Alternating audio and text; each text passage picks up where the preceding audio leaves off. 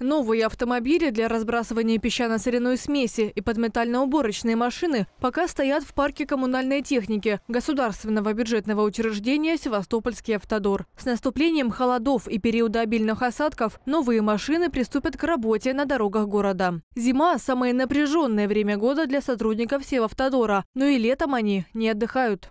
И в этом году выполнял ну, я считаю, наверное, беспрецедентно огромный комплекс э, работ по содержанию.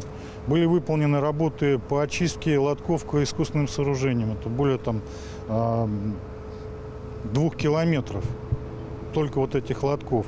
Были спланированы 78 тысяч квадратных метров обочин. Э, были выполнены работы по устройству восстановлению верхних изношенных слоев. Это на сегодняшний день 119 тысяч квадратных метров.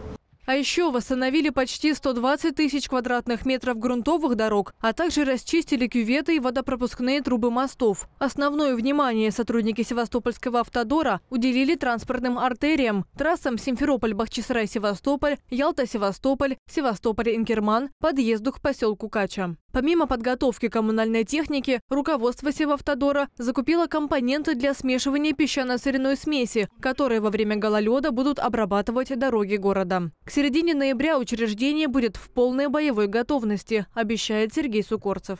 Помимо обследования самих э, искусственных сооружений автомобильных дорог, мы еще готовим технику.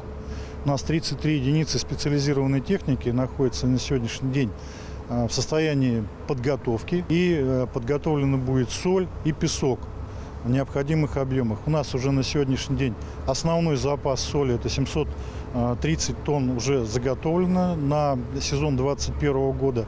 На 2022 год мы планируем еще закупить 1300 тонн э, дополнительной соли. Будет поставки в начале января.